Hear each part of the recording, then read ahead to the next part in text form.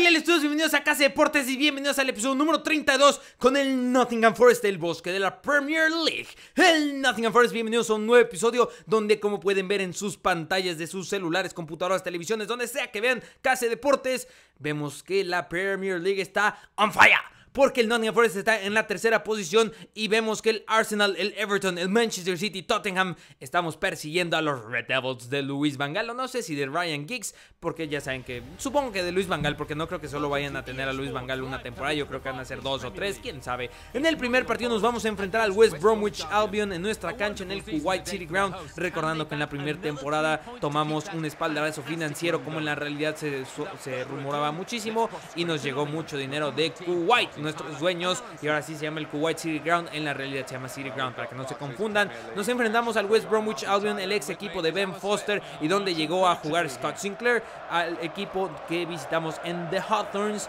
y sacamos un empate a cero. Muy muy complicado jugarle en leyenda, en legendario ahí en su cancha en este partido a West Bromwich Albion, pero esperamos que este partido sea distinto porque venimos de celebrar, esperamos que mis, espero que mis muchachos no vengan enfiestados, ya saben que es tradición familiar de los Reynoso que después de ganar un título Mujerzuelas y Juegos de Azar, pero por lo pronto ahora sacamos al equipo número A, definitivamente este es el equipo número A, el cuadro de gala para enfrentar al West Bromwich Albion porque ya de aquí en adelante son puros partidos de la Premier League intentando quedar en la Champions League, que sería sensacional por un equipo recién ascendido y matemáticamente podemos ganar la liga, ¿no? Estaría sorprendente. El West Bromwich Albion está en puestos de descenso y de descender, podría haber jugadores que me interesen del West Bromwich Albion para reforzar el equipo en la siguiente temporada, el que más me interesa sería Gamboa, el corre Gamboa, pero por lo pronto nos vamos a las primeras instancias del partido porque en el minuto 11 Scott Sinclair conecta con Valentina Iserich. Qué buena pantalla, le respetó el esfuerzo, no es buena pantalla. Scott Sinclair recorta sensacional, el héroe de Wembley, el remate de este Valentina Iserich.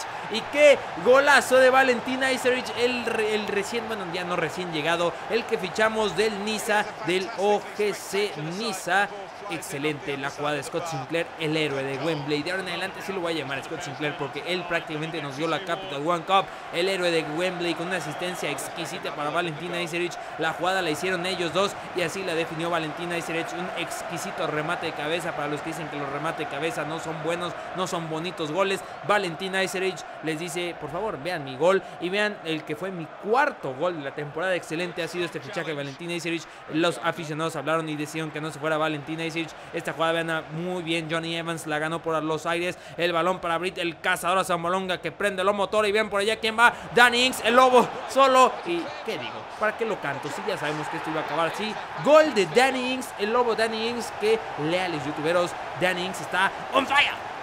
Porque cuántos goles lleva. Ahorita nos va a aparecer cuántos goles. La asistencia Brita son balonga simplemente sensacional. La defensa del West Bromwich Albion para llorar. Vean ahí toda la afición que hizo el viaje llorando. 14 goles en la temporada para Dan Ings. Sensacional campaña que ha tenido el juvenil inglés porque está muy joven Dan Ings. Aquí el balón que le pone Valentina Isevich a Son Balonga es simplemente sensacional. Pero a Son Balonga era más difícil pegarle al palo y se equivocó el cazador a Son Balonga que todavía tiene la pólvora mojada. Siguiente jugada ya entró James Wilson. Vean el pase que le pone a Isevich a Dan Ings. Dan Ings por el doblete. Dannings remata sin piedad. Y gol de Dannings, doblete, su gol número 15 en la campaña. Y Dannings va y dice, ay, celebra conmigo, a ti te debo el gol, simplemente sensacional. 3 a 0 goleamos al West Bromwich Albion. Pensar que en The Hawthorns quedamos 0 a 0. Y aquí Dannings que mete su segundo gol del partido. Y pues simplemente, y esto lo comentaba en el video del Hamburgo del domingo, que cuando contragolpeas en este FIFA es simplemente exquisito. Vean aquí el defensa del West Bromwich que se queda dormido, James Wilson le gana la espalda, James Wilson remata. Y el juvenil inglés recién, bueno, este ya no es recién llegado, ex Manchester United anota el cuarto gol del día, simplemente horrendoroso lo que hizo el defensa del West Bromwich Albion. Y James Wilson con esa velocidad que tiene, le ganó la espalda. Muy bien, anota su tercer gol de la campaña de verdad que nos sirvió muchísimo ganar la Capital One Cup porque traemos un envión anímico exquisito, sensacional, que nos podría significar Champions League, que nos podría significar ganar la liga. Imagínense que ganemos la liga, la verdad yo no me la creería, la verdad no estoy, no me creo el nivel que tiene este equipo para haber eh, recién ascendido. Creo que eso está mal dicho, pero para haber, eh, después de haber ascendido, estar en el segundo lugar de la liga es simplemente sensacional. Y recordando que estamos jugando en legendario, es algo que yo creo que nunca había hecho en ningún FIFA que con un equipo recién ascendido y jugando en la dificultad más difícil, válgame la redundancia, nos esté yendo también. Aquí están las calificaciones del partido, asistencias para Lili, para Brita Balonga y hablando de Brita Balonga, me manda un correo, aquí lo checo desde mi celular y me dice, oye viejo, pues súbeme el sueldo, ¿no? No, no, me, no gano mucho y creo que estoy siendo pues, alguien importante para el equipo. Y digo, ok, esta es una oportunidad excelente para mostrarle cómo están los contratos de los jugadores a los leales youtuberos para que vean a quién deberíamos renovar, quién se debería ir a la siguiente campaña, porque ya tenemos que ir pensando eso. Si no me equivoco, restan dos episodios para acabar la segunda temporada con el Nottingham Forest. Posiblemente se va a acabar en enero, es lo más probable, y va a comenzar la temporada número 3. Aquí está Son Balonga que gana 9 mil euros semanales. Vamos a intentar aumentárselo a 15 mil porque vemos que nos está pidiendo 35 mil y ahorita, eh, ahorita mismo no lo podemos pagar. De verdad, algo muy complicado. Ven aquí como que se me glitchó el juego. Scott Parker solo le quedaban meses de contrato, ni siquiera lo renové y vean esto.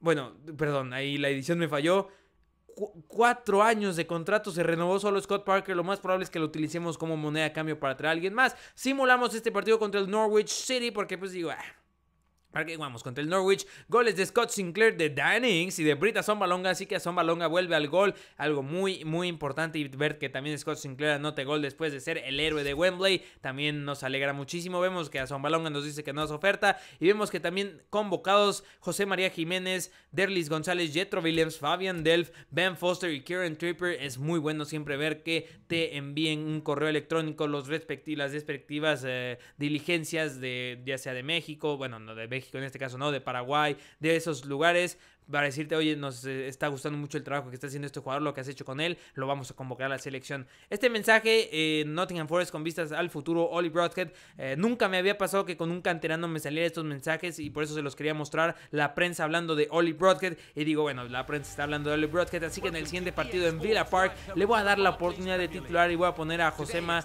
de lateral por derecha a ver cómo nos funciona en este partido contra los villanos de Aston Villa. Hermoso de verdad este estadio, el ambiente que se vive. Es que me encanta encantan todos los estadios de la Premier League. ¿Qué me hago? Y el ambiente hasta la Premiership de, las divisiones inferiores. Me fascina la Premier League. Ya saben que yo soy un fanático declarado y a morir. Amo la Premier League con todo mi corazón. Y ahora nos enfrentamos a Aston Villa, que siempre en su cancha es un rival muy, muy complicado. Con Cristian Benteke, con La Roca, La Roca o La Piedra Sánchez, eh, Bayman, en este caso ficharon a Franco Di Santo, el portero Brad Gusan. Pero nosotros sacamos un cuadro muy poderoso. No es el equipo número A, es un entre A vamos a decirle A minúscula. Aquí están los jugadores Isoko, muy bueno, Ashley Westwood, Bryson no lo conozco, pero sobre todo Benteke que es el jugador más peligroso que tienen. Y este es un partido importante para Fabian Delf porque se reencuentra con el Aston Villa. Ya nos habíamos reencontrado en el Kuwait City Ground, pero ahora lo hacemos en el Villa Park, lo hace con los que fueran sus hinchas, sus aficionados. Así se para el Nottingham Forest. También le damos la oportunidad a Loris Karius, ahí está Oli Broadhead y a Ibrahim Bakela de titular. Vamos a ver qué pueden hacer estos juveniles, estos canteranos, Oli Broadhead e Ibrahim Bakela. Ibrahim Bakela que lo trajimos de Holanda y se lo ganamos al Ajax, al PSV, al Feyenoord. Aquí es canterano del Nottingham Forest, lo trajimos desde Chavito. Y a Oli Broadhead que aquí lo encontramos es nativo de Nottingham. Y este es el primer balón que le pone Fabian Delfa, Luli que van por la banda de la derecha. Sensacional la velocidad que tiene. El pase que le pone a Dan Inks que no se la piensa. Y el Lobo Inks está on fire. Sensacional Danny Ings el remate y así lo celebra como si fuera Legolas. Ibrahim Bakela va y celebra con él. 16 años tiene Ibrahim Bakela. Qué futuro tiene el pase de Fageba Luli. No tenía una asistencia más. Que bien ha jugado Fageba Luli estos últimos partidos. Y pues bueno, aquí la verdad FIFA nos ayudó. Vean por dónde pasó el balón. Muy mal Brad Gusan. 17 goles en la campaña para Danny Ings que va a luchar por ser el campeón de goleo, por ser el líder de goleo. Nos gana Wayne Rooney. Y vean este remate. ¿Quién fue Charles en Sogbia? No sé quién ha sido no dejé ver, pero de verdad, muy, muy buen gol. Vean, Loris Carius, nada que hacer, se aventó para la fotografía. Fue Franco Di Santo, el argentino, ex Chelsea, ex Werder Bremen. Muy bien, así que nosotros vamos a ofender, nos vamos al ataque con Danny Ings. ¿Qué puede hacer Danny Ings? El lobo recorta, va a mandar el centro. No, mejor se la Fabián Del, que da un bombazo. Pero Brad Gusan se lanza en Villa Park y hace una excelente salvada y evita la caída de su marco ante lo que pudo haber sido la ley del ex de Fabián Fabian Del. Hubiera estado interesante. Siguiente jugada, minuto 45. Valentina dice su pierna izquierda y pasa centímetros de la puerta. Brad Gusan, los fanáticos de Aston Villa, mordiéndose las uñas de verdad porque el, el Nottingham Forest está atacando con todo. El Nottingham Forest es una realidad, es de los mejores equipos de Inglaterra. No es un cuento de Cenicienta, lo está haciendo muy bien. Tiro de esquina, Fageva Luli lo pone. ¿Quién remata? Danny Ings, el palo le dice que no. Ibrahim Bakela en el contra remate. Y gol del canterano el Nottingham Forest holandés. Ibrahim Bakela que anota de un contrarremate. Muy, muy bien. Ibrahim Bakela atento a ese rebote. Le ganó a todos y eso que está Chaparrito Bakela. Y eso que están todos los chaparritos en el área. Aún sigo sin entender por qué pasa esto en los tiros de esquina del FIFA 15. ¿Dónde están mis centrales? ¿Dónde está la gente alta? Estaba Dannings y Scott Sinclair. Bueno, Dannings sí es relativamente alto a comparación de Scott Sinclair y de Ibrahim Bakela. Pero anota su segundo gol de la temporada, que es lo importante. Y aquí va a comenzar el partidazo porque Loris Carius, el Lince Carius, se avienta muy bien, demostrando que quiere ser el titular la siguiente campaña, que le quiere ganar el puesto a Ben Foster. Aunque también Ben Foster está diciendo, oh, me queda un año de contrato. Carius vas a tener que hacerlo mejor. Y este es Charles Ensogvia que se la da a Bryson, no lo conozco. Andreas Weiman que entró de cambio se la da a Christian Benteke que remata. Y Carius, Carius, estaba hablando bien de ti, me haces esto. Bueno, normalmente en esta serie hemos visto errores de la computadora del portero para el equipo contrario. Ahora pasó a Carius que decidió acostarse, decidió tomarse una siesta. Cristian Benteke apenas anota su quinto gol de la temporada. Raro ver esto en Cristian Benteke. Andreas Weimann, el austriaco, hace un excelente jugada, un excelente remate. 3 a 2 al minuto 75. El Villa Park se vuelve loco porque el Villa está haciendo la sorpresa de la jornada. Le está ganando. Vean el recorte que le hizo Johnny Evans. Andreas Weimann simplemente lo dejó viendo moscas, lo, dejó viendo estrellitas. Siguiente jugada, minuto 79. Ahora ataca Danny Ings que recorta. Adiós, adiós a la cadena de Philip Senderos. Y gol de Danny Ings, doblete de Danny Ings. Dos partidos seguidos con doblete Dannings, dos partidos, cuatro goles. Como diría Invictos, delantero de élite on fire. Como quiera que diga Invictos también para lo que está haciendo este delantero sensacional, Dannings, que en la realidad suena para muchos equipos. El Burnley anda mal, posiblemente regrese al descenso, regrese a la Premiership. Y Dannings suena para la Real Sociedad, para el Newcastle, para el Chelsea, para casi casi el que ustedes digan Dannings está llamando la atención de todo el mundo. El partido va a parecer que va a terminar 3-3. El Aston Villa quiere que esto no suceda, pero Villa Park celebra porque saca un punto que es oro molido para los villanos contra el segundo lugar de la Barclays Premier League. Eh, qué, partidazo, eh. qué partidazo. Ayer jugué uno malísimo contra el Hoffenheim en el modo carrera con el Hamburgo. Y este fue uno de los mejores partidos que he jugado hasta ahora en este FIFA 15. 3-3 contra el Aston Villa, así terminamos parados y aquí están las calificaciones del partido, asistencias, ahí podemos ver que eh, también andamos muy bien en lo que es cuestión de asistencias. Y Dannings que está luchando por ser el, el mejor goleador de la Premier League.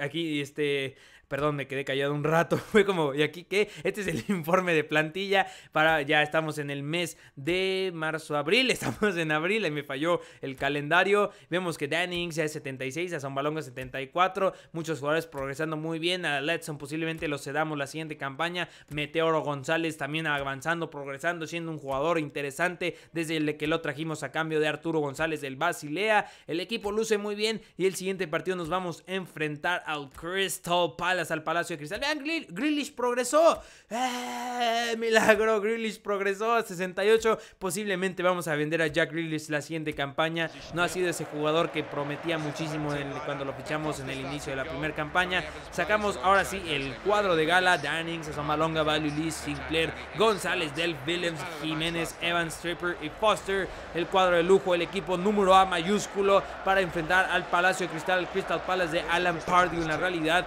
que su mejor fichaje fue Yaya Sanogo. Espero, espero que el Crystal Palace, porque es un equipo que me gusta muchísimo también, su afición me encanta. Cuando le sacaron ese empate a 3 a Liverpool la campaña pasada, yo casi lloro de la emoción de que fue un partidazo y la emoción en ese estadio. Bueno, pero nosotros nos vamos ya al partido porque este es Azón Balonga que remata y muy bien Julián Speroni. Bueno, Julián es argentino, ya me quise ver muy gringo. Y ahora la siguiente jugada es para quién? Para el cazador a Balonga, minuto 32. Vamos a Son Balonga, vamos por tu gol, tú puedes a Son Balonga.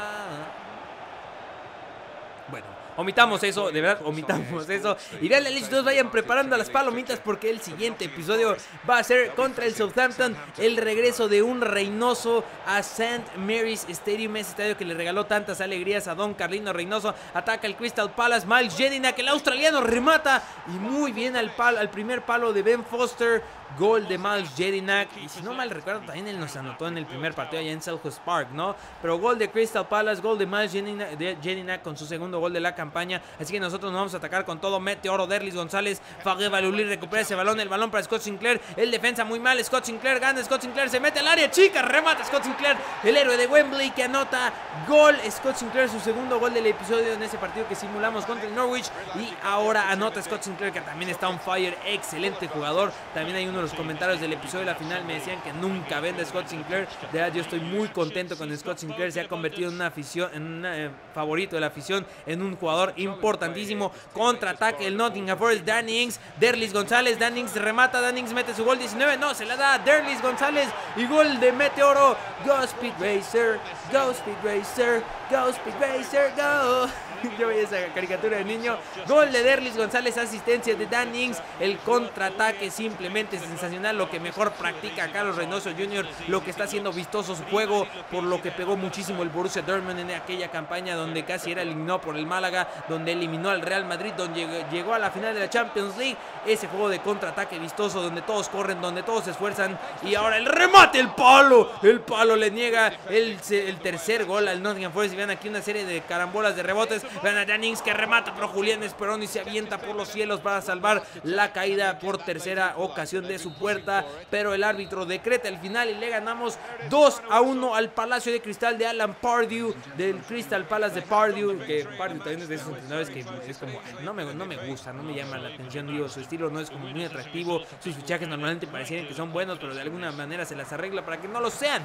Newcastle esta temporada sin de Young no jugó ni un partido, supongo que por lesión, por lesión. Remy No ha cumplido lo que hizo en el Montpellier, que era simplemente sensacional. Su mejor fichaje ha sido a José Pérez, que está hecho también una bestia en la realidad. Pero pues ya nos cerramos paréntesis de la realidad. Ya saben que me gusta hablar tanto de fútbol, que a veces se mezclan estos episodios. Les mostré la liga, eh, como lucía la liga al inicio del episodio. Ahora se las muestro. Estamos a 10 puntos del Manchester United. Parece que sí, parece que el Manchester United va a quedar campeón de la Barclays Premier League. Vamos a intentar evitar eso. Ya no nos cruzamos con ellos en ningún momento de la temporada. Así que esperar que se tropiece para que nosotros podamos ganar. Pero ojo que de la posición número 6 a la posición número 2 cualquier resbalón de cualquiera les podría costar puestos europeos, le podría costar clasificarse a Champions League.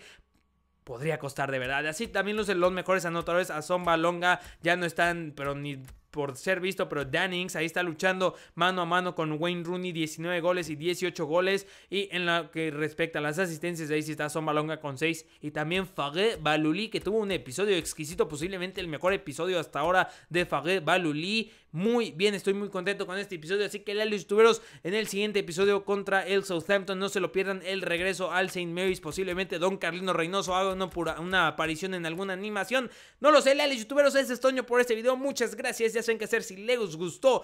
No olviden seguirme en mis redes sociales, en Twitter y en Facebook para estar de toda la actividad del canal. Ah, ya saben, los me gusta siempre son bien recibidos y los comentarios intentan ser contestados. Si este es el primer video que si te gustó, te invito a que te suscribas y también te invito a ti a todos los leales youtubers que coman frutas y verduras porque ahí no solemos YouTube.